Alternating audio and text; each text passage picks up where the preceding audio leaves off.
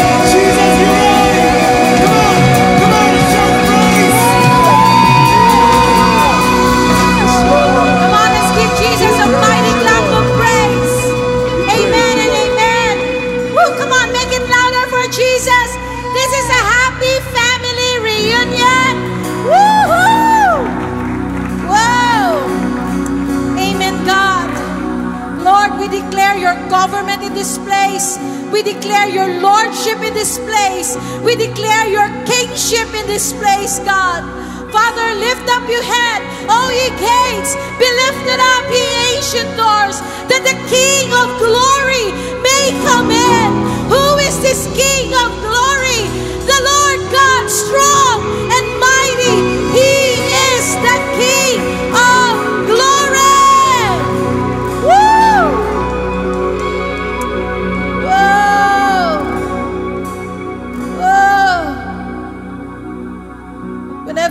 worship like this, God, we build a throne for you. Let the worship of your people, let the praises of your people build a throne for you. And whenever we worship you, whenever our eyes are turned towards you, God, we allow you to come into our situation and move, God. Whenever your people call unto heaven, whenever your people look up to heaven, you come. You come. And you fight our battles for us. You come to deliver, to rescue, to provide, to lift up your people, Lord. And so today, we choose to wear the garments of praise. We choose to wear the garments of worship. And we choose to minister to you, God. For such is the calling of the church. Such is the calling of your bride, of your church, to worship you with all of our heart, soul, and strength. We were made to worship you. And today, we want to give you the worship that you deserve. We bless you and we honor you. In Jesus' name. And God's people say, Amen and amen.